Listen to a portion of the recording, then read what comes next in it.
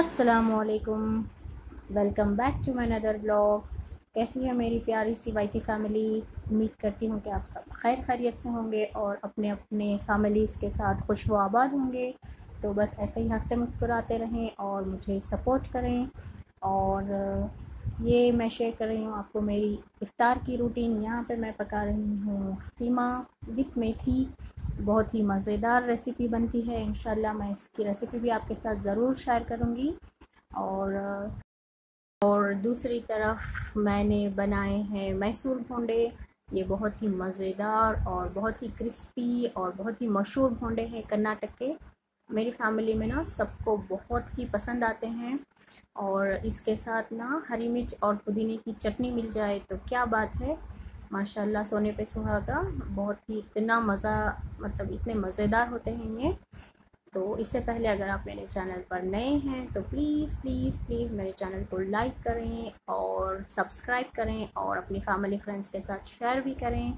तो मुझे ना आप आप लोगों के सपोर्ट की सख्त ज़रूरत है तो प्लीज़ सपोर्ट करिएगा और वीडियो को ना एंड तक वॉच करिएगा। तो ये देख लीजिए माशाल्लाह कितने क्रिस्पी बने हैं ना। तो चलिए अब दूसरी तरफ़ मैं बनाने वाली हूँ वेज मायोनाइज बर्गर। तो इसके लिए सबसे पहले हमें चाहिए टमाटर, प्याज, ककड़ी, कैप्सिकम और इन सब चीज़ों को ना इस चॉपर के साथ मैं चॉप कर लूँगी। ये बहुत ही मज़ेदार मतलब बर्गर बनता है ना। तो बस ये देखिए जी, मैंने छः छोटे छोटे ब्रेड ले लिए हैं और ये है टमाटो केचप और ये है मायोनाइज ये एगलेस मायोनाइज है। माशाल्लाह, बहुत ही मज़ेदार बर्गर बनते हैं। तो चलिए फटाफट से बनाते हैं। एक्चुअली क्या है ना, इफ्तार के टाइम पे ना बहुत कम वक्त होता है ना। तो मैं अगर स्लो मोशन में अगर दिखाती रहूँगी तो वक्त हो जाएगा इफ्तार का।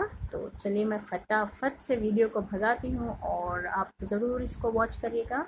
बहुत ही यमी और बहुत ही मज़ेदार बर्गर बनने वाला है। तो ये देखिए जी, सबसे पहले मैंने लगाया है यहाँ पे मायोनाइज जी हाँ आप ना अच्छे से नीट से लगाइएगा। वक्त की कमी होने की वजह से ना मैं फास्ट फास्ट कर रही हूँ। तो आप आराम से करिएगा रमज़ान के बाद और ज़रूर कमेंट बॉक्स में बताइएगा आपको ना, आपका जो वेज बर्गर है मायोनाइज बर्गर वो कैसा बना है। तो ये देखिए जी, सबसे पहले मैंने मायोनाइज लगा दिया है और मैं उसमें ऐड कर रही हूँ ऑनियन लाइटली ना चॉप किया था मैंने चॉपर से। देखिए जी, माशाल्लाह। तो फटाफट से मैंने रख दिया है कुकुम्बर भी। ये हो गया जी कुकुम्बर तो अब हम ऐड करेंगे इसके ऊपर टमाटो के स्लाइसेस देखिए जी, माशाल्लाह। कितना प्यारा सा लुक दे रहा है ना टमाटर। और मैं ऐड करूँगी कैप्सिकम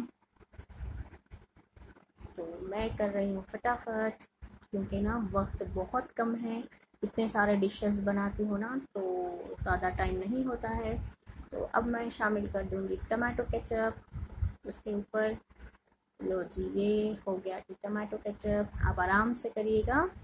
तो नेक्स्ट मैं ऐड करी हूँ थोड़ा सा नमक स्प्रिंकल करूँगी और उसके बाद ऐड करूँगी ब्लैक पेपर पाउडर जी, काली मिर्च पाउडर जो मैंने ऑलरेडी ना ग्राइंड करके ना एक छोटी सी डिब्बी में सेव करके रखा था उसको। जब भी मैं बर्गर बनाती हूँ ना तो उस पर ना स्प्रिंकल करती हूँ। ये देखिए, मैंने ब्लैक पेपर ऐड कर दिया है।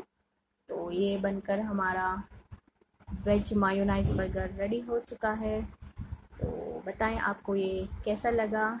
ज़रूर कमेंट बॉक्स में शेयर करिएगा। तो आपकी मेरी इफ़ार की रूटीन कैसी लगी? तो बहुत मतलब एहसान आप लोगों का।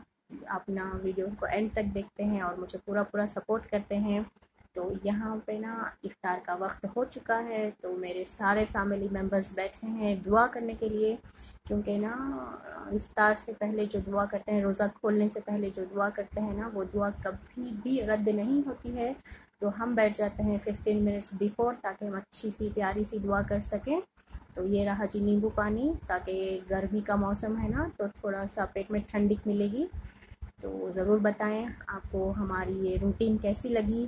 तो अब लेकर चलते हैं मैं आपको इफ़ार में। तो यहाँ पे मैंने इफ़ार में बनाए हैं मटन मसाला। तो एक्चुअली ना, ज़्यादा वक्त नहीं था मेरे पास वीडियो करने के लिए तो मैंने ना ऑलरेडी पूरा मुकम्मल बना लिया है। तो जस्ट गार्निशिंग और बाकी है। लास्ट मोमेंट का जो मैं वीडियो ले रही हूँ।